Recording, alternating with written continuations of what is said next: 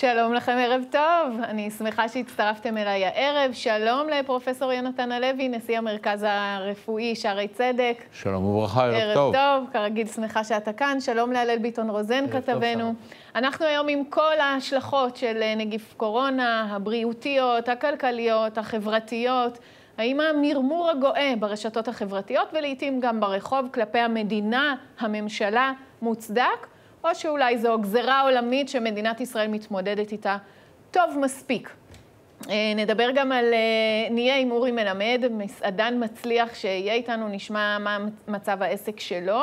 התלמידים מוחים על ההגבלות החדשות, ובסוף נראה שכל המגזרים לוחצים להקל עם ההגבלות. האם זה לא משחק באש? מצד שני, גם המשחק בכלכלה הוא משחק באש.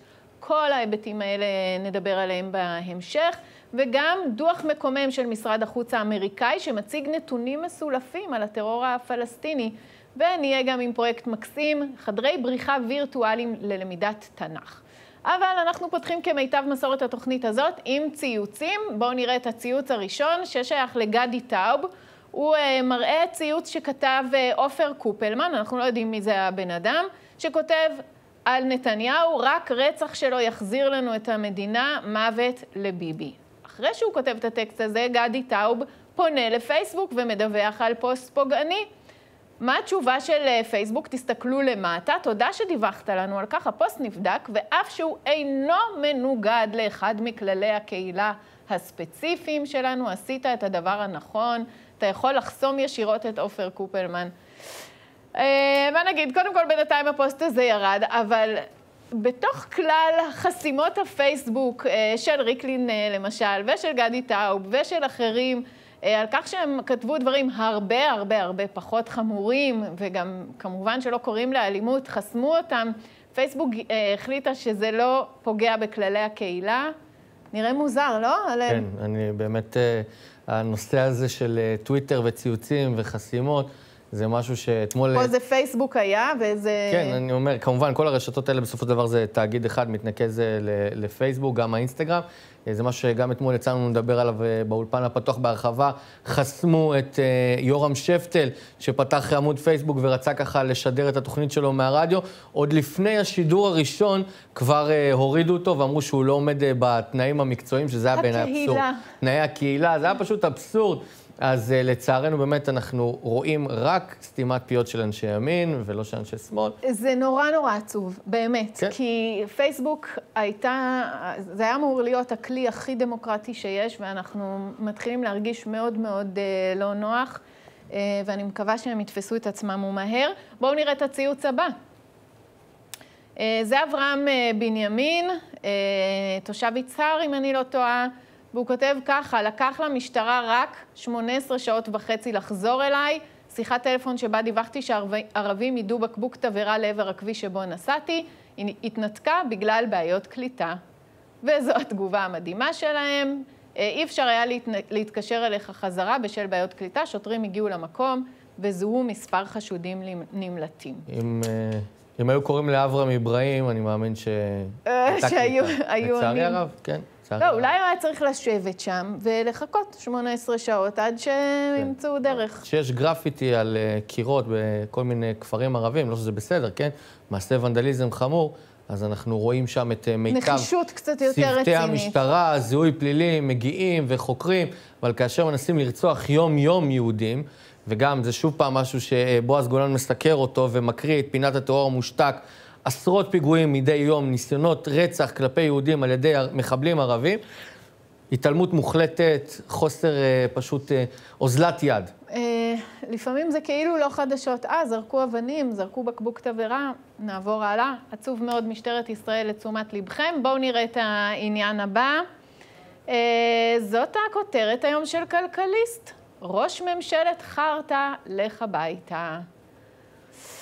חברים, מה נגיד, זה לא מכבד אתכם. גם אם אתם שמאלנים, שונאים את נתניהו, אה, חושבים, מה זה? אני לא רוצה להגיד על זה. מישהו מכם רוצה להגיד עוד משהו? חוץ מזה שזה פשוט מבייש אותם? מיצית. מיציתי. טוב, בואו נראה את הדבר האחרון. אה, אנחנו רואים הרבה מאוד צילומים ברשת של שוטרים שמעניקים דוחות גם לילדות קטנות שבוכות וכל מיני דברים כאלה ראינו. בואו תראו צילום שהגיע אלינו היום מחוץ למשרד ראש הממשלה.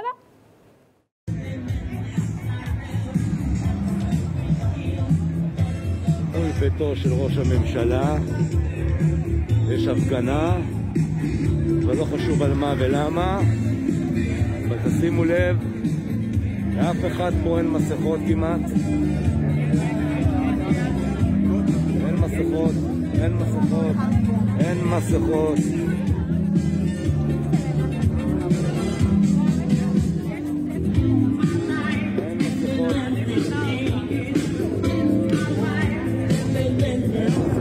המשטרה פה רואה, מסתכלת ולא עושה כלום. אין מסכות בכלל, רק במאה שערים. בבקשה. בבקשה.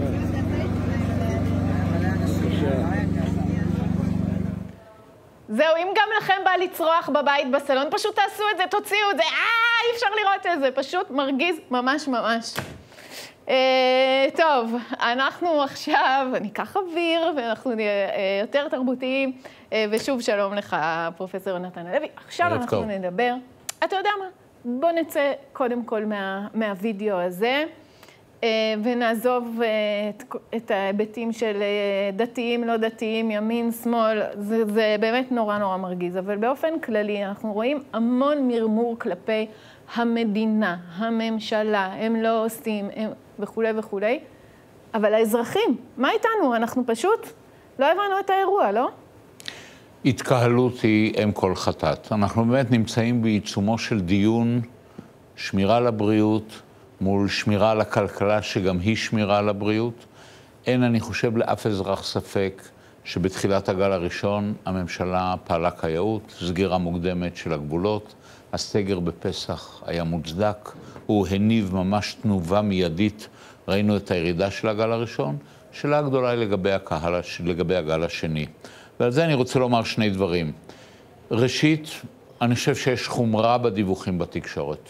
אני עובר על החולים בשערי צדק, דיברתי עם עמיתי בהדסה, דיברתי עם עמיתי באיכילוב, לפתוח כל מהדורת, מהדורת חדשות במילים מספר הקשים במדינת ישראל עלה מ-74 ל-82 בשבוע האחרון, זה מאוד חמור. רגע, זה... אבל למה זה לא נכון אם אנחנו רוצים, לצורך העניין, להגיד לאותם אנשים שמסתובבים מחוץ לבית ראש הממשלה ללא מסכות, תשימו לב, זה מסוכן. אז בעניין הזה, אם תתני לי דקה, אני אומר לך. אני בהחלט מאלה שסוברים שתפקיד שר הבריאות, במסגרת תפקידו לשמור על האוכלוסייה, לשרטט מתווה קיצוני וחמור. Mm-hmm. אני חושב ששר האוצר, שתפקידו לשמור על הכלכלה, משרטט מתווה נגדי. אבל אלה גם אלה צריכים להסתמך על נתונים. והנתונים הם כאלה שיש לנו גל שני, שייתכן והיינו מונעים אותו אם היינו יוצאים יותר לאט מהגל הראשון. אנחנו רואים שאוסטריה עשתה את זה ואין לה גל שני משמעותי, mm-hmm. אבל לא ניתן לחזור לסגר מלא. ולכן הגזרות של הממשלה מ-48 שעות האחרונות על מניעת ההתקהלויות, ככל שהן קשות למגזר מסוים במשק, אולי לא מאוד גדול, אבל בהחלט משמעותי, כל תרבות ופנאי תרבות, ואירועים, תיירות, אלה, אירועים. זה מה שאנחנו יכולים לעשות בשביל לבלום את ההחמרה של הגל השני, והמדינה צריכה לפצות. את האנשים האלה שמפסידים במיידית מהגזרות, המדינה צריכה לפצות. לחלוטין, וזה המון המון המון מעגלים. אבל המילים האחרונות הן שהגל השני כרגע הוא לא כצעקתה. הוא לא כצעקתה. אז אני רוצה, אנחנו, אנחנו לא נחזור. רואים את אותם, אם נחזור לזה. נחזור לזה. אני רוצה להבין אם זה אה, לא כצעקתה. אה, הלל, בוא תן לנו קודם כל את הנתונים שמפרסם משרד הבריאות על איפה נדבקו כרגע, לפי החקירות שלהם. אין בעיה. אה, אז... כשנבין באמת עד כמה זה קשור דווקא לאירועים, דווקא לאירועי תרבות וכולי. אז ממש לפני כן, ממש בשניות הללו, משרד הבריאות מפרסם את נתוני הקורונה החדשים, העדכניים לשעה זו. 13,352 חולים פעילים, שבעצם העלייה מאתמול מדברת על 745 חולים חדשים, mm-hmm. נכון לשעה זו, מחצות בלילה, 34 מונשמים, 86 חולים שמצבם מוגדר קשה, 342 נפטרים אה, חדשים. אה, לא חדשים, לא, זה במצטבר. סליחה, סליחה, במצטבר, סליחה. צודקים במצטבר. אה, לגבי, לשאלתך באמת, אז ככה משרד הבריאות ניסה לעשות איזשהו פילוח ובעצם הציג שבאמת 65 אחוזים, כמעט 66 אחוזים, נדבקים בביתם. זאת אומרת שזה לא אומר שהנגיף הוא מתפרץ בבית. נמצא בן אדם שהוא אה, אה, מתבקש ללכת לבידוד, מגיע לביתו, ואם באמת הוא נושא עליו את הנגיף, מדביק ככה את בני המשפחה, וככה באמת אה, גילו שהדבקה נוצרת. Mm-hmm. הייתה אה, משפחה חרדית, שיש שם 14 נפשות, 12 ילדים, זוג הורים. אחד מהילדים אה, חלה בקורונה, נשלח על ידי הישיבה, קודם כל שהיה חשש. שהוא באמת היה בקרבת אה, אה, בן אדם אה, מאומת לנגיף, הגיע הביתה. ואז ברגע שהוא נמצא בבית, הוא מדביק בבית. אז זה עיקר ההדבקה, מה עוד? זה עיקר ההדבקה, בתי ספר וישיבות, עשרה אחוזים, מוסד רפואי, שישה אחוזים, אירוע או כנס, ארבעה אחוזים, בתי כנסת, רק שני אחוזים.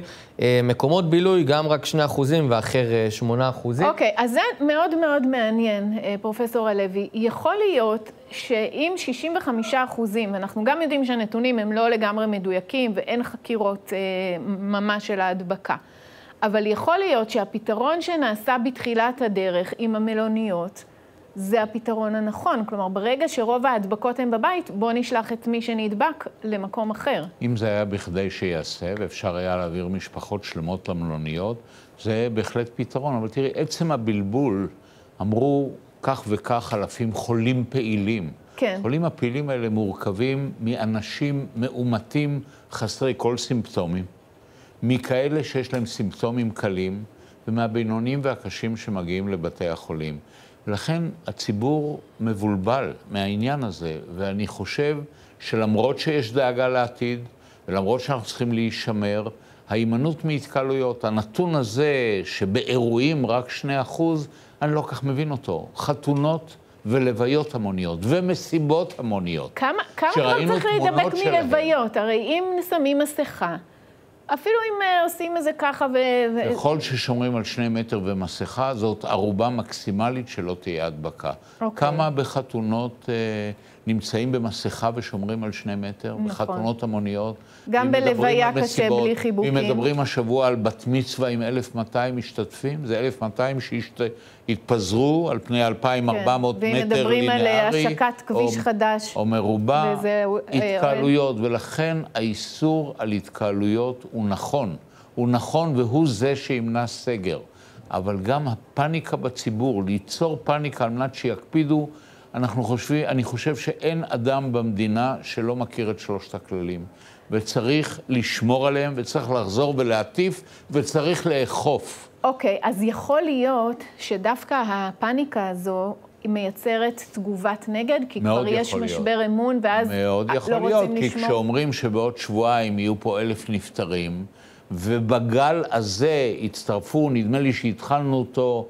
עם 280 או 285 נפטרים, אנחנו על 340, אז היו 60 נפטרים, אבל הוא נמשך כבר חודש ימים. חלק מהנפטרים הם נפטרים עם קורונה ולא מקורונה. Mm-hmm. שערי צדק יש היום אישה בת 95, כן, דמנטית, נפש יקרה מאוד.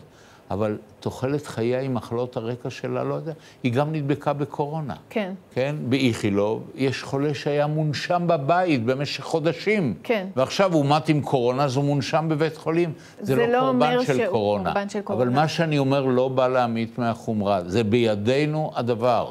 ולכן שמירה על הכללים, אכיפה. אכיפה חמורה ביותר והימנעות מהתקהלויות. אז עוד רגע אני רוצה שתגיע למה ש... אה, למכתב שפרסמה פרופסור סדצקי, וגם שאתה תתייחס אליו, אבל עוד, עוד שנייה אחת נשאר על זה. הרי נושא הפרנסה זה לא בשוליים, תרבות, תיירות, אה, אירועים, כל הדבר הזה, זה המון המון המון אנשים שפשוט אין להם אופק כלכלי. האם אתה חושב שאולי זה מוגזם, אולי אפשר היה לעשות אחרת, אולי מסעדות זה לא כל כך נורא, מה אתה חושב? בכל מה שקשור להתקהלויות צפופות, ואני חושב שחתונות ומסיבות עומדות בראש, אבל צריך לזכור גם את בתי הספר. כן. ולכן הכללים בבית ספר של החופש הגדול, וטוב שזה החופש הגדול, אין ממש הפסד לימודים. כל מה שקשור לזה, אי אפשר להגזים בחשיבות.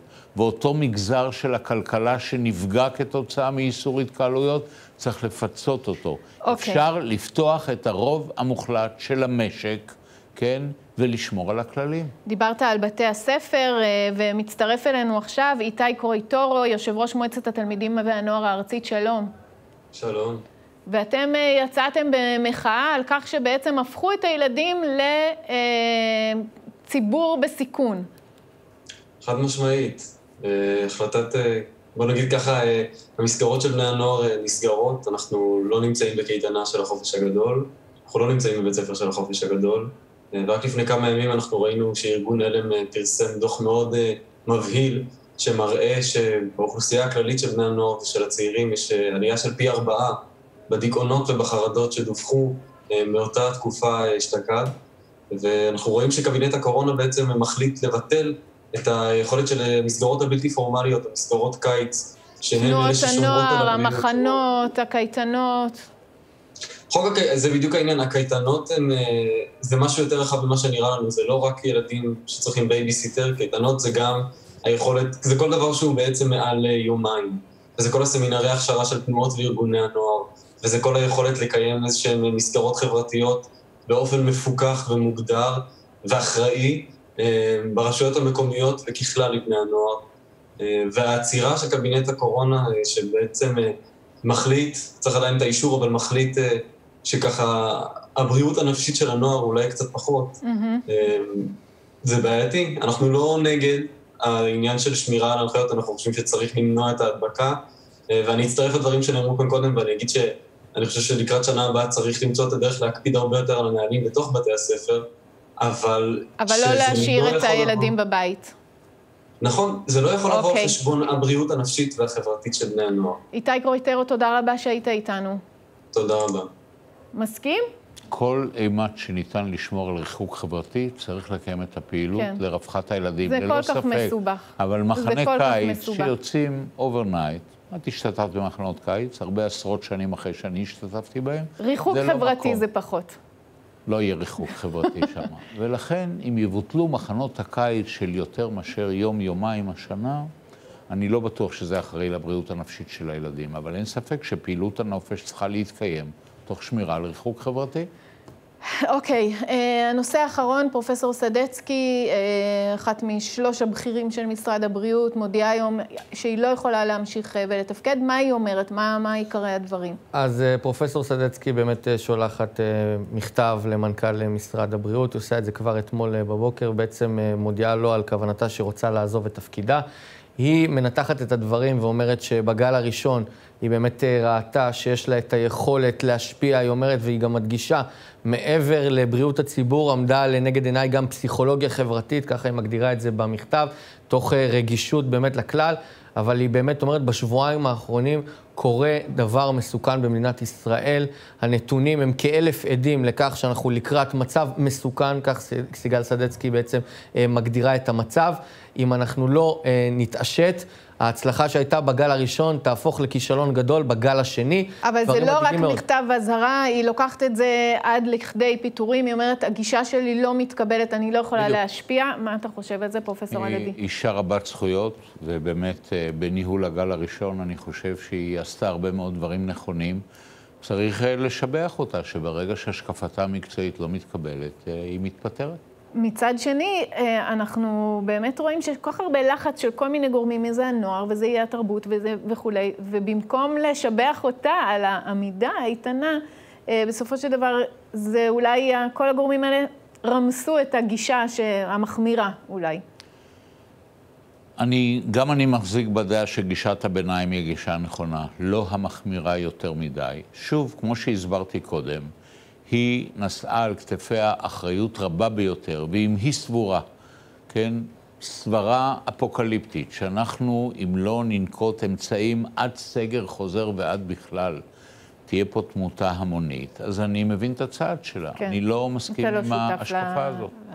אוקיי, תודה רבה לך, פרופסור יונתן הלוי, נשיא המרכז הרפואי שערי צדק, תודה לך. אולי אתה נשאר איתנו בהמשך, תכף נראה. אנחנו להפסקה קצרה, כבר חוזרים.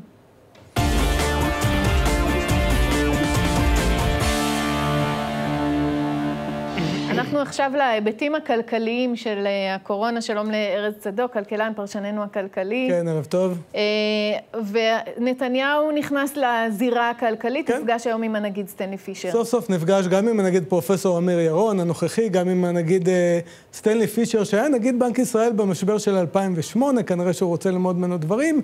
נפגש עם שר האוצר וצוותו, נפגש עם נשיא התאחדות העצמאים. אפשר להגיד שהכותרת שלנו היום, שבנימין נתניהו, ראש הממשלה, נכנס לעניין הכלכלי. אם אני שואלת אותך בכותר, בכן ולא, האם אנחנו במשבר כלכלי עולמי, סטייל מה שהיה לנו ב-1929, אחרי מלחמת העולם הראשונה, זה, זה עד כדי כך? לא.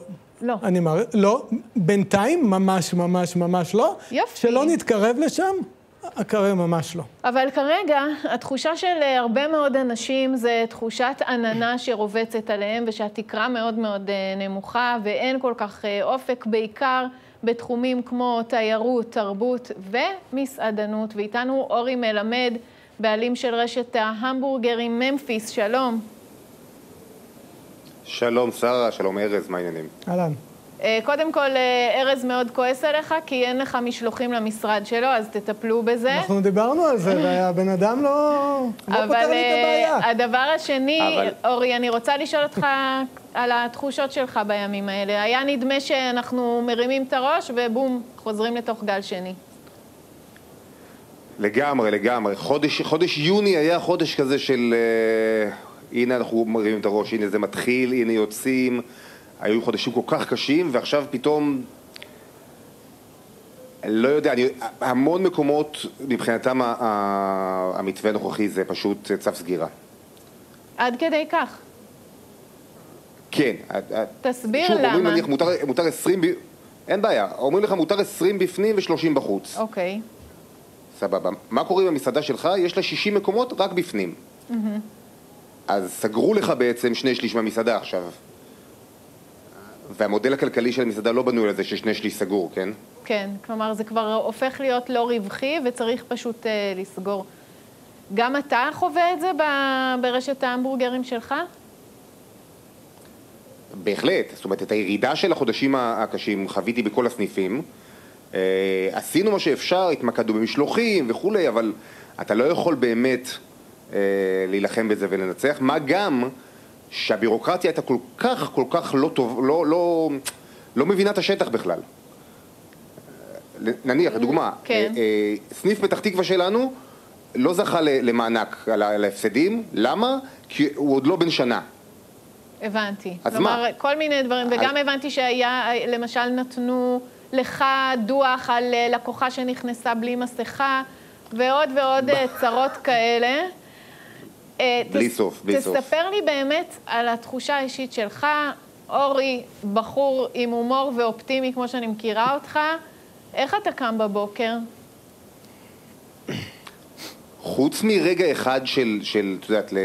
יש חמישה שלבים של, של התמודדות עם, עם אה, אירועים מהסוג הזה, נכון?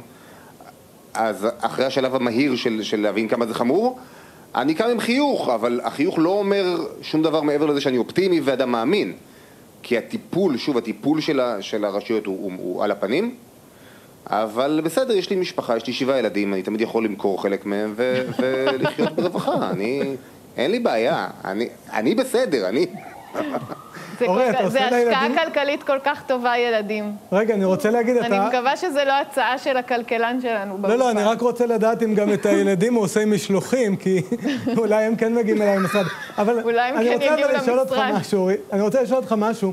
המסעדות שלך כן. היו פתוחות בתקופה הזאת, או שאתה סגרת במשך אה, תקופה מסוימת?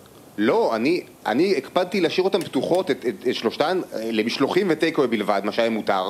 כן. אבל בדיעבד התברר שזו הייתה טעות. למשל בירושלים נלחמנו כמו אריות, ככה נלחמים בירושלים, כן. והירידה במכירות הייתה 23% בלבד. ואז התברר שרק אם ירדת ב-25% ויותר, מגיע לך מענק. כן, ולפעמים 20% זה הרווח, ואז אתה כבר מגיע להפסד. אבל נדמה לי שהבעיה העיקרית של אה, כן. מסעדות, או בכלל תחום ההסעדה, זה שברגע שאתה סוגר, אז קודם כל, כל המלאי הולך לאיבוד, וזה המון כסף, ואז אתה פותח שוב, אתה צריך לקנות מלאי חדש מההתחלה, ופתאום סוגרים לך ועוד פעם הפסד כספי. זאת אומרת, מעבר לעובדה שלא עובדים פה או מפסידים כסף בשוטף, יש פה הפסדים עצומים של פתיחה וסגירה כל הזמן. שלא לדבר על שכר דירה של, של עשרות אלפי שקלים כשאין הכנסות. כן. המשכירים לא חושבים שזה לא מגיע להם, כן? התשלום. כן. אז אה, אורי, אנחנו, א', תודה רבה שבאת לדבר איתנו ולשתף קצת, אה, ומאחלים פרנסה טובה לך ולכל עם ישראל. אמן. תודה. תודה רבה. דוגמה כן. אחת קטנה של בן אדם שבאמת בשיניים מצליח להרים אה, רשת אה, מפוארת של ילדים, אה, של המבורגרים, ו... ובאמת כן. אה, מצליח להחזיק את עצמו, ו... והוא מרגיש שהמדינה, כלומר, אה, שוב, אנחנו מגיעים למדינה. נכון. כן יש לו ציפייה שיהיו לו לעזר. כן, ואני במקרה, את יודעת, אני, אני מכיר אותו ואני מכיר את, ה, את הרשת שלו. יש לו סניף בתל אביב, ואז הוא פתח עוד אחד בירושלים, ואז הוא פתח עוד אחד בפתח תקווה, והנה, בפתח תקווה חדש, אז מה, אבל העסק עובד כבר כמה שנים, יש כמה סניפים והכל.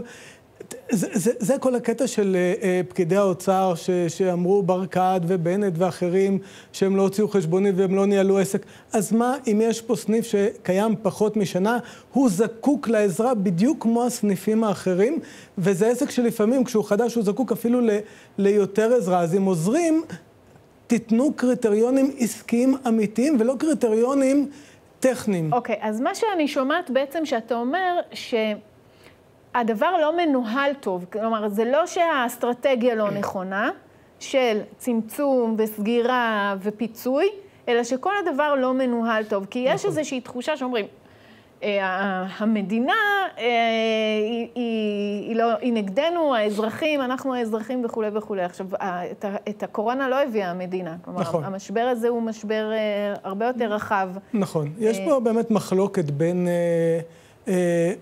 מה, מה כדאי לעשות, אוקיי? אבל ברגע שהמדינה החליטה, נותנים 80 מיליארד אה, שקלים uh, תמיכה, ו-30 מיליארד צריכים לעבור בחודש הזה, ו-20 מיליארד בחודש הזה, ומחצית או פחות מהכסף עובר, אז יש פה או בעיה של ניהול, או בעיה של פקידים שלא מבצעים את הוראות הדרג הממשלתי. אלה, זה או זה או זה. עכשיו, okay. אוקיי. תראה, אני חושב שה... האוצר פה, הרי כולנו מסכימים שהם לא אנשים רעים, ו... אבל יש פה תזה מסוימת שעוד, אני קורא לה תסמונת 2008. ב-2008 היה משבר גדול בארצות הברית, וארצות הברית פרטה, בעצם פתרה את המשבר הזה. Mm-hmm. המשבר הזה לא נגע, העיקר שלו היה בארצות הברית, אבל הוא, הוא שידר גלים לכל העולם, כולל אל, למדינת ישראל. פה לא עשו כלום, mm-hmm. והמשבר עבר. למה? אנחנו לא באמת היינו במשבר, זה גלי הדף שהגיעו אלינו, כן. אבל לא באמת היינו במשבר. ראו שזה עבר, אמרו, הנה, אנחנו לא צריכים לעשות, צריכים רק להוריד את הראש ומשברים עוברים. זאת כנראה התפיסה במשרד האוצר, והיא מתנגשת עם התפיסה של הממשלה של כן לעזור, ואז יש פה איזשהו חיץ. ואז זה לא עובד. יש פשוט... חיץ בין ההחלטות הממשלתיות לביצוע פקידים. שוב, אני בשוק. כן. שוב הפקידים לא מבצעים את מה שהממשלה רוצה. בדיוק, ופה ראש הממשלה היום נכנס לעניין, והוא נכנס לעניין עם שלוש פגישות אה, מאוד משמעותיות, והוא בא ואומר לשר האוצר ולצוות המשרד, חברים, אם אנחנו מחליטים שמעבירים אה, כספים, אז תתחילו להעביר את הכספים ותיישמו את ההחלטות שלנו. וזה גם מה שארגוני העצמאים אומרים היום לראש הממשלה. כן. אנחנו לא מקבלים את הכסף, הכסף לא עובר. אתם, אתם נותנים אה, החלטות, אתם מספרים לנו סיפורים, אתם נפגשים איתנו, בבנק, לבנק זה לא מגיע. כן. אתה יודע מה הכותרת שאני מוציאה מהשיחה איתך? אנחנו לא במיתון עולמי כמו שהיה ב-1929. עם זה אני ממש, הולכת הביתה. אנחנו ממש יופי. לא במיתון עולמי. אפשר לפתור את המשבר הזה. הוא חמור בפרט אצל אותם אנשים שנמצאים בבעיה. ברמת המקרו אפשר לפתור אותו, זה לא, 2020, זה לא 1929, זה גם לא 2008. ב-2008 okay. גופי ענק קרסו, הולאמו, נעלמו, אנחנו, אנחנו לא ממש לא שם. לא שם. ארז צדוק, תודה רבה. תודה רבה. לעניין הבא, את טיקטוק אתם מכירים, האפליקציה הזו של הילדים? בארצות הברית שוקלים לסגור את האפליקציה הזאת, אחרי שבהודו כבר עשו את זה ומחקו מיליוני uh, משתמשים. איתנו uh, לוטם גיא, סמנכ"ל מוצר בסייברזן, שלום. אהלן שרה, שלום, ערב טוב. Uh, האמת שהופתעתי, לא ש... אתה יודע, עוד, עוד לא הספקתי ללמוד, כבר זה נעלם. כן, אנחנו, לוקח לנו קצת uh, זמן לתפוס את הקצב, אבל החבר'ה הצעירים כבר לגמרי, לגמרי שם. וטיקטוק זה אפליקציה מדהימה עם התפשטות עולמית וטרנד חם ולוהט. רק אה, נגיד במילה, מה, מה הקטע של טיקטוק? מה היא מוסיפה לעולמנו? אז זה עוד אפליקציית, אפליקציית social, אפליקציה חברתית, מאפשרת אה, אה, לשתף סרטונים קצרים mm-hmm. מאוד, אה, וזה הפך לבאמת טרנד ו, ו, ומצחיק ונחמד, ו, וכולם מאוד מאוד מתלהבים ואוהבים. ו... וממה חוששים אה, בארצות הברית וחוששים בהודו? מזה שטיקטוק זה לא באמת אפליקציה חברתית. אה, זו אפליקציית, אפשר לקרוא לה social engineering, הנדסה חברתית, כי בעצם זו תוכנת ריגול לכל דבר. אה, זה קצת מפתיע. אבל... כן, וואו. התוכנה עצמה זה פשוט הייעוד שלה. מה שמעבר, מה שהכיף והפאן והכל מסתיר את מה שבאמת המהות שלה, וזה לעקוב אחרינו המשתמשים. כל מי שהתקין את האפליקציה, מידע מהמכשיר שלו, על המיקומים שלו, על כל מה שהוא עושה, זורם לאותם שרתים של החברה שיושבים בסין, ואוספים עלינו כל, כל, כל הזמן מידע. במה זה שונה מפייסבוק שאוספת עלינו מידע ומרשתות אחרות? אז זה שונה, זה שונה, זה מאוד שונה. אה, זה לא אותו מידע, זה לא אותה כמות של מידע, ובאפליקציה עצמה יש ניסיון מאוד מאוד אה, אה, אה, משמעותי להסתיר את הדבר הזה. Mm. מאוד קשה להבין שהאפליקציה אוספת עליך מידע. אם מישהו מנסה לשחק איתה כדי להבין בדיוק מה היא עושה, היא משנה את עצמה. יש יכולת למפעילים לשלוט מרחוק על איזה בדיוק מידע, ואם אנחנו משווים אחד לאחד את טיק טוק לעומת פייסבוק וטוויטר ועוד אפליקציות חברתיות, זה לא, זה לא דומה. אבל אפילו על פייסבוק אני... אה, אומרים שהם אה, מקליטים, וכל אחד מרגיש את זה שהוא רק דיבר על משהו ומיד הוא קיבל אה, פרסומת בפייסבוק. אה, מה, יותר מלהקליט את, ה, את האנשים?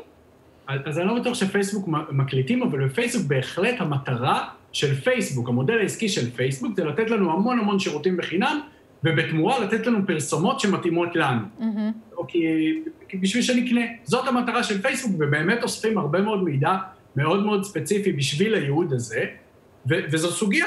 זו סוגיית אה, הפרת פרטיות שהיא בהחלט לגיטימית לדיון, וזה לא דומה לטיקטוק. זה פשוט לא דומה, זה לא אותה סקאלה. למה? כי עד כמה הם יותר? תן לי דוגמה למשהו שהם, אה, למידע שהם אוספים. אה, אז, אז טיקטוק באמת אוספים מידע על המכשיר שלך. על, על אה, איזה אפליקציות אחרות מותקנות במכשיר, על האם פרצת אותו כדי להתקין משהו. הם, הם, אה, הם יכולים לשנות ולאסוף תוך כדי מידע אחר, תלוי במי מדובר. אה, אם, אם שינית משהו, הם ישנו בעצמם את הדבר הזה ויכולים לחסום אותך. Mm-hmm. הם גם, האלגוריתם החברתי הוא מאוד מאוד מתוחכם בשביל לגרום לך לשתף ולהשתתף והכול. זה, זה הרבה יותר קיצוני מפייסבוק, ב, ביכולת שלהם לגרום לך להרגיש טוב וכ, ושיהיה שיתופים ואוהבים וכל אחד שישים... והמטרה של הסינים היא מה, היא במסגרת האימפריאליזם או שזה כלכלי? אז זו, זו שאלה מצוינת, זו שאלה מצוינת, ו, ומה שצריך להבין זה שלסין יש את הכוח לעשות עם זה הרבה דברים. גם uh, פעילות כלכלית וגם פעילות ריגול, וגם פעילות אה, יותר רחבה, ללמוד התנהגויות של חברות אה, מסוימות, ואחר כך לקחת את זה להרבה מאוד כיוונים. מעניין. גם יותר אה, מודיעיניים וגם יותר... אה, אין, יש לי חושים של בלשית, איך ידעתי לא להתקין טיק טוק? אם אני לא כל כך גאון. זה בסדר, אבל איפה הילדים והמשפחה והחברים? גם אצלנו עוד אין, אז זה טוב. לוטם, תודה רבה שהיית איתנו. תודה, ערב טוב. זהו, אנחנו יוצאים להפסקה קצרה, מיד חוזרים.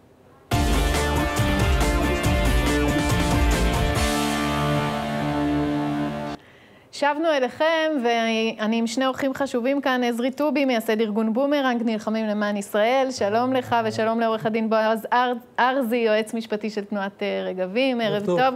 עזרי, אנחנו אליך בעקבות דוח שמוציאה מחלקת המדינה האמריקנית, שממפה את הטרור בארץ הקודש, והנה, הפלא ופלא, אה, יש מעט מאוד אירועי טרור נגד יהודים והרבה מאוד אירועי טרור של יהודים כנגד ערבים. נכון. אה, כל שנה מחלקת המדינה האמריקאית מוציאה דוח על מצב זכויות האדם, ככה היא מגדירה את זה. לפני הוצאת הדוח, היא פונה לציבור או לארגונים אזרחיים שיספקו להם חומרים. אה, השנה החלטנו להגיש את הנתונים שלנו, אנחנו אוספים נתונים מתחילת 2019 על מצב הטרור ביהודה ושומרון, היינו פה הרבה פעמים בערוץ 20, והגשנו להם דוח מפורט של מעל אלף אירועים מפורטים, תאריך, מקום, זמן, מה קרה, במדויק. אה, הוציאו את הדוח במרץ האחרון. רגע, עוד לפני זה, רק ש... כדי שתבינו, אה, גם בתקשורת הישראלית יש תת-דיווח על בהחלט. מקרי אלימות של... וטרור כנגד יהודים. אה, כשאנחנו מדברים על לפעמים 50 אירועים בחודש? 50 אירועים בשבוע. בשבוע. אני מתעד בממוצע 50 אירועים בשבוע. של זריקות אבנים. תקופה האחרונה של קורונה קצת ירד, 30 אירועים בשבוע. זריקות אבנים, בקבוקי תבערה, אה, ניסיונות דקירה, כל הדברים האלו. אני מסכים איתך שגם בתקשורת הישראלית יש התעלמות מהם. ערוץ 20, ייאמר לשבחו שהוא נותן לזה די הרבה מקום. נכון, עוד שבח לערוץ 20. עוד שבח לערוץ 20 ומגיע לו. נכון. אז עכשיו מחלקת המדינה מקבלת את הנתונים האלה, נכון. ומה עושה איתם? מאשרת קבלה, ואומרת, אנחנו נסתכל עליהם, מוציאים את הדוח במרץ האחרון, והפלא ופלא, שום דבר ממה ששלחנו להם לא נכנס לבפנים. אוי, אולי המייל לא עובד? יכול להיות. כן. לא, כבר החזירו לכם שזה התקבל, כן, בתודה. כן, כן, החזירו שהתקבל, כמובן. הם ציינו שם שהיו פי שלוש יותר התקפות של יהודים נגד ערבים באותה שנה, 330 התקפות של יהודים נגד ערבים, ורק 101 התקפות של ערבים נגד יהודים בכל 2019. וזה פשוט מדהים. עכשיו, אה, אה, אה, אולי הצופים שלנו אומרים, איך, אבל טראמפ אוהב אותנו כל כך, זה לא אותם אנשים. לא אותם אנשים, מדובר על ה deep state. על ה deep state בתוך מחלקת המדינה יש לה מסורת ארוך שהם לא כל כך אוהבים את מדינת ישראל, ולמרות שיש לנו את שגריר פרידמן ויש את הפומפאו שהוא מזכיר המדינה, וכולם פרו-ישראלים, הפקידים שם עושים מה שהם רוצים. ואנחנו, בעזרת השם, יוצאים עכשיו לקמפיין, ואנחנו מקווים להביא את זה לידיעה של פומפאו, כי אם את שואלת אותי, הוא אפילו לא יודע. הוא לא יודע שזה מה שקורה מתחת לאף שלו. למי מציגים, אגב, את הדוח הזה? הם מפרסמים את זה באתר שלהם, וכמובן שהרבה... זה אחר כך כלי לשימוש לפלסטינים, לנגח אותנו. לפלסטינים, ליהודים בשמאל בארצות הברית, מנפנפים עם זה, אומרים, הנה הנתונים, תפסיקו עם האגרסיות של היהודים נגד הערבים המסכנים. וככה נולד שקר. אתה מאמין שאפשר לשנות את זה? בטח. איזה חמוד. אנחנו הפעם נושכים... טוב מאוד, תשובה נכונה. מה זה? הפעם אנחנו נכנסים באימא שלהם, סליחה על הזה, כן. אבל זה... אם זה... מיד יושב שם איזה פקיד ורושם, התקפה של יהודי. היום התקשר אליי פקיד מה, מה, משם, מחלקת המדינה, הוא שמע שדברים אה, מתקדמים. יש שני חברי קונגרס שכותבים כבר מכתב על העניין הזה. הוא כבר התקשר אליי ולהגיד, תראה, אולי כדאי לעשות את הדברים בשקט, נביא לשינוי. או, יופי. זה זז. זה אומר שאתה צריך לעשות, להמשיך לעשות את הדברים בקול. זה זז, נושכים. טוב, מעניין לעניין באותו עניין לחלוטין, אה, תנועת רגבים עוקבת אחרי הבנייה הבלתי חוקית ביהודה ושומרון, ואתם בעצם חושפים שיש בנייה אה, מסיבית בגוש עציון באזורי C. טוב, אנחנו בדיוק חושפים, אנחנו מדברים על תופעה שנמשכת כבר הרבה שנים. למה שמאלנים תמיד אה, אומרים, החשיפה וזה? לא, אנחנו... כן, לא, אנחנו חושפים אבל ש... התופעה מתגברת מאוד מאז שתוכנית טראמפ נכנסה לתמונה. אנחנו רואים שהעסק uh, עובד הרבה יותר מהר. אם uh, כן עזרי דיבר על הנושא של... מה אנחנו רואים עכשיו, הצילומי אוויר האלה? אנחנו רואים עכשיו, אצלנו אנחנו רואים uh, באמת מבנים באזור נחלין, כפר שנמצא ליד ראש צורים בגוש עציון, שטחי C, ושם אנחנו מזהים בשבועות האחרונים בנייה מסיבית של... אנחנו עתרנו כנגד תשעה מבני אה, קבע, מבני אבן גדולים, שנבנים במהירות שיא. המינהל האזרחי לא נוקט שם פעולות משמעותיות, בגלל זה נאלצנו גם להגיש עתירה השבוע, אה, וזה רק חלק מהקרחון. אנחנו מדברים פה על תופעה שמקיפה את כל השטחים האסטרטגיים ביהודה ושומרון. עכשיו, לא מדובר בבן אדם שאין לו איפה לשכן את החמולה שלו, והוא חייב להוסיף עוד חדר ועוד מרפסת. מדובר פה... רק כדי שנבין, בתנועת אה, גאולת קרקעות פלסטינית שעובדת בדיוק כמו שאנחנו גאלנו קרקעות בתחילת הציונות והבנו את החשיבות של הקרקע, הם עושים את זה באופן שיטתי ובכוונה בשטחי C כדי בעצם לייצר אחיזה שם. כן, מדובר, התוכנית הזאת כבר קמה, רצה למעלה מעשר שנים, כן? אה, לרשות הפלסטינית יש שר לענייני שטחי C. היא משקיעה עשרות מיליונים, מאות מיליונים, רובם במקורות חוץ, כדי להשתלט על שטחי C, חלקם בבנייה מקורות של... חוץ זה אומר. בדרך כלל אירופה. אה, אה, איחוד אירופי, בהחלט. מדינות, מדינות, וגם גורמים פרטיים וכביכול הומניט- הומניטריים. אנחנו אבל מדברים פה גם על בנייה של בתים, גם על השתתפות חקלאית, שהיא לאורך כל השטח, בנקודות אסטרטגיים. אנחנו יודעים שהם מנתחים את השטח, ובין יישובים. בקרבה לצירים. עכשיו אנחנו רואים שבעצם אנחנו נמצאים היום סביב תוכנית טראמפ, אז יש את הדיבורים ויש את המעשים בשטח. כמו שאמרת, חיקוי של הציונות, של אה, העלייה השנייה וקניית האדמות וההשתלטות איפה כן, שהמחרשה זה לא תעבור. שלנו היום אין גואלי קרקעות, ברוך השם, יש כמה אנשים כמו מוסקוביץ' ואחרים שעוד אכפת להם אה, מהדברים האלה, זה- אבל זה אה. ההבנה הממשלתית והמגמה הממשלתית, זה לא קיים אצלנו. היום יש קצת הבנה, אנחנו לפני שנתיים ראינו שהמינהל האזרחי והצבא כבר הפנימו שיש בעיה, יש היום תוכנית שנקראת המערכה על שטחי C, אבל אה, בעצם יש... היא יושבת? לא, הצבא מנהל אותה. למעשה, כן. אה, משרד הביטחון, הצבא, אבל אנחנו היום אה, מבינים שזה גם לא עובד. מינו את אה, קובי לירז, לשעבר יועץ שר הביטחון לענייני התיישבות, לקדם את הנושא הזה, הוא התפטר כי הוא ראה שלא קורה כלום. יש מלחמה בשטח, מלחמה על הקרקע, ורק צד אחד נלחם במלחמה הזאת. יש מלחמה שצד אחד מופיע כל בוקר לעבודה, כל בוקר למלחמה, הוא שולח טרקטורים, הוא שולח פועלים, הוא שולח בנאים, הוא שולח משפטנים להגן על כל הדברים האלה, בית המשפט העליון, בית המשפט המחוזי, עתירות אחת אחרי השנייה כדי להגן על בנייה בלתי חוקית. הצד שלנו שוקט על שמריו, ישן, לא שוקט על שמריו, לא, כאילו אנחנו לא קיימים בשטח, אנחנו מפסידים במערכה הזאת, לצערנו, וחייבים להתעורר. עכשיו, חוץ מזה שיש לנו פה מערכה על אדמת ארץ ישראל, יש כאן גם היבט ביטחוני מאוד מאוד קריטי. בעצם זה חנק של, אה, של אזורי התיישבות יהודים. אנחנו אפילו רואים את זה בתוכנית טראמפ, אם אנחנו כבר מדברים על ההשלכות ל- לארצות הברית. כלומר, וגם המקום... ברור שזה קשור. כלומר, ככל שזה קשור. שהתוכנית מתקדמת, ככה הם מקדמים את הבנייה. מצד אחד, נכון, וגם הדברים שנעשו עד היום ושלא טופלו כמו שצריך, הם אלה שעיצבו את המפה של תוכנית טראמפ. ולכן אנחנו נראה היום אה, בתוכנית, אה, כשאיך שהיא נראית המפות האמיתיות, או אני כבר לא יודע איך להגדיר אותן, אנחנו נראה יישובים שהם קונצנזוס בכל, ה- בדעת הקהל הישראלית, והם יהיו מבודדים, מפני שהדרכים אליהם אה, נכבשו מסביב על ידי אה, חקלאות אה, ערבית. אנחנו מפסידים את המערכה. עזרי, אתה רואה את זה גם, אתה גר ב? ביצהר. ביצהר. גם סביב יצהר יש בנייה כל הזמן? בטח, חופשי. אני, כשאני רוצה להראות לאנשים שעוקבים אחריי בחו"ל, מה ההבדל בין יישוב יהודי לבין כפר ערבי, אני אומר להם, תראו את היישוב, כמה הוא קטן ובתים צמודים אחד לשני. ואז אני אומר להם, כל מקום שאתם רואים בתים פרוסים אה, באופן הכי רחב שיש, תדעו לכם שזה כפר ערבי. אנחנו רואים במשך השנים התקדמות הולכת וזוחלת, וכמו שציינו פה, זה באמת הולך וסוגר על היישובים. עכשיו, בהחלט. כמי שעוקב אחרי אה, אה, טרור ערבי, אתה רואה שיש גם קשר בין הדברים? תראי, אין, אין לי שום ספק שהם אה, גם בונים צמוד לכבישים. אני ראיתי את זה גם ב-E1, בכביש שמוליד, אה, ש- אה, יורד לבקעה. אה, בוודאי שהם רואים בצירים אזורים אסטרטגיים, ועם הזמן, ככל שמתווספים יותר בתים, אני שומע על עוד מקומות חדשים שמתווספים לי לדיווח שלא היו. כן, אבל זה, שוב, זה, זה תהליך של זמן, אבל זה בהחלט קורה. אה, אתם כבר המון המון שנים עוקבים אחרי נושא הבנייה הבלתי חוקית ועל נושאים אה, נוספים, גם פגיעה אה, בטבע וב, ובאוצרות טבע. האם אתה רואה איזשהו שינוי? אנחנו דיברנו קודם, בתחילת התוכנית, על מדיניות כלכלית מסוימת שפקידי האוצר מתנגדים אליה ולא מעבירים בנושא הקורונה. סתם לדוגמה, יכול להיות שגם כאן יש ממשלת ימין שלא מצליחה להיות ימנית. אה, יכול להיות מאוד. אני לא בטוח שהיא תמיד רוצה להיות ימנית. אנחנו... בסופו של דבר, אה, ראש הממשלה הוא זה שמכווין את הדברים. אני... עכשיו, הדברים גם הם הולכים ומתפרקים מעבר לתופעה שאנחנו מדברים עליה עכשיו.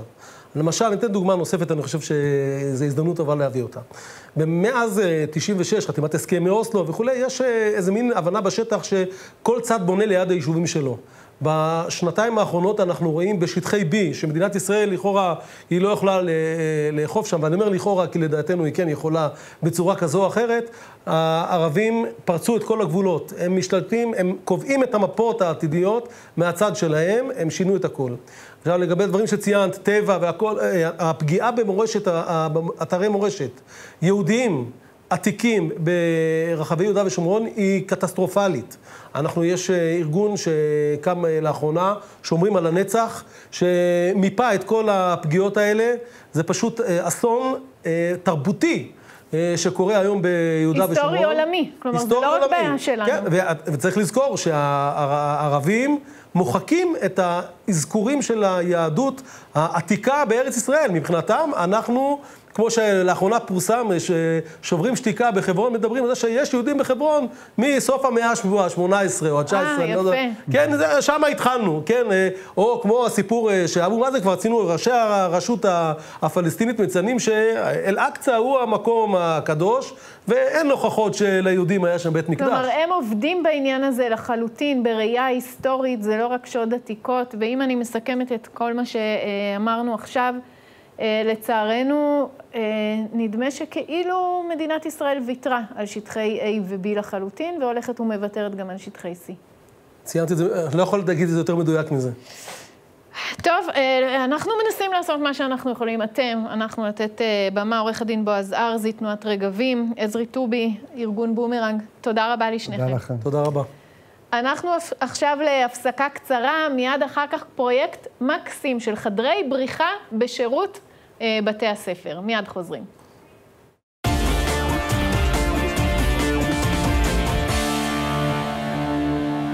יופי שחזרתם אלינו. אתם יודעים, אנחנו בין סיום שנת לימודים קצת עקומה, שלא הייתה בדיוק כמו שתכננו, ובין עוד מעט פתיחת שנת לימודים בצל הקורונה, ולא כל כך ברור איך ילמדו התלמידים.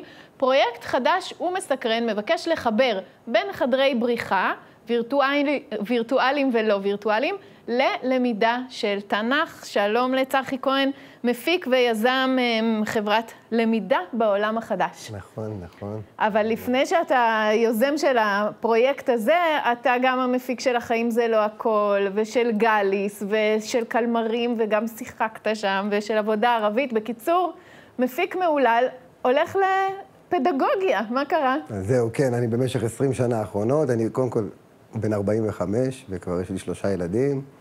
במסגרות הלימוד, שחוו את כל הטלטלה הזאת שקרה mm-hmm. במוסדות הלימוד, ותכף על זה נדבר, וזה העיקר. וכן, 20 שנה האחרונות אני מתעסק בהפקות טלוויזיה, בתור מפיק אה, סדרות.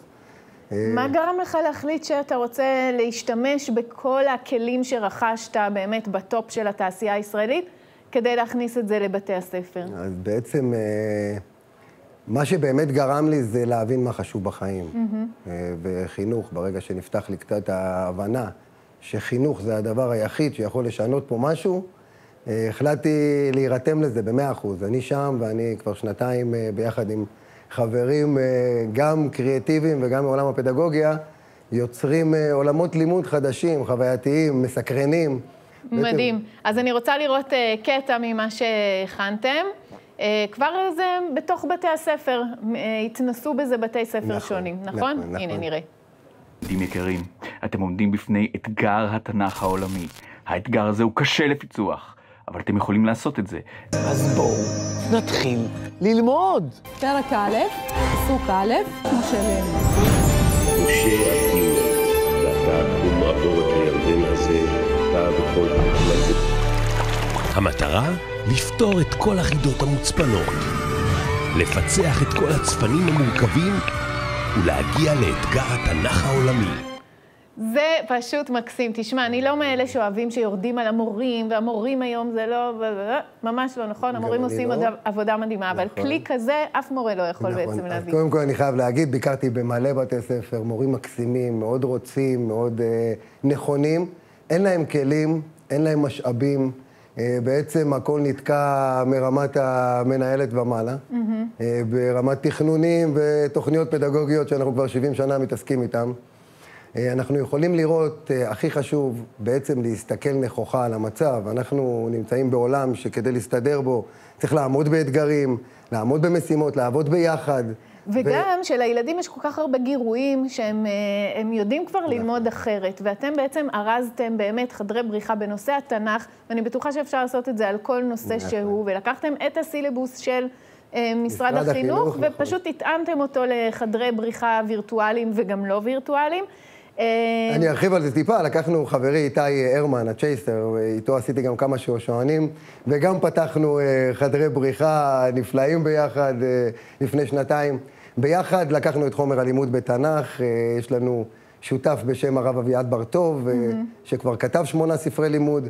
ביחד לקחנו את כל חומר הלימוד המדויק של משרד החינוך ועיבדנו אותו למשחק ואתגר. מקסים. בכיתה. ביחד עם המורים, בעצם הם מגיעים בבוקר ועוברים מסע, משימה, אתגר, המורה עם התלמידים. תגובות נפלאות, נפלא, אבל אני פה גם uh, לבקש עזרה קטנה. כן, בבקשה. אז זהו, יצאנו באמת uh, באתגר ענק שנקרא אתגר התנ"ך העולמי. Mm-hmm. וצירפנו הרבה בתי ספר, ונהנו, ויצרנו אינטראקציה בין בתי הספר, וזה נפלא, והקורונה קצת עצרה את זה, ואנחנו uh, רוצים להמשיך ולהמשיך בגדול, אז המון אני שומע בדרך. תעשה מימון המונים, תעשה מימון המונים, אנחנו נתמוך בזה, כי אנחנו בינתיים... ונכנעת ללחצים מסביב. אני רואה שגם את זה חייבים לנסות, כי המשאבים אה, במשרד החינוך, אין בעצם עם מי לדבר כבר הרבה שנים. אה, שר הולך ושר מגיע, ואין שם... אה, לקבל משאבים לוקח הרבה זמן. יש, אבל מאוד מאוד קשה באמת למצוא גמישות, כי המערכת נכון. הזאת אנחנו רוצים היא ספינה מאוד מהר. מאוד גדולה. העולם היום מתקדם נורא מהר, העולם מחוץ לכותלי בית הספר מתקדם נורא מהר. הילדים בעלי פוטנציאל ענק. צריך רק לתת להם את ההזדמנות. הכלים שקיימים בחוץ, הם כבר קיימים. הילדים מסתכלים על כל המשחקים האלה כי השקיעו בהם. כן. את אותם כלים, את אותו קריאייטיב, את אותו עיצוב, לחבר ביחד עם חומר הלימוד, זה אפשרי, זה מה שאנחנו עושים. והיום יצאנו בקמפיין מימון המונים סוף סוף כדי לזרז את התהליך, אה, לקבל באמת תמיכה של הציבור. אז אם אתם, אה, כן. הצופים שלנו, חושבים שזה פרויקט אה, חשוב, שבעצם מחבר בין העולם הדיגיטלי, הפתוח, המסקרן של היום, לבין ספר הספרים של העם היהודי.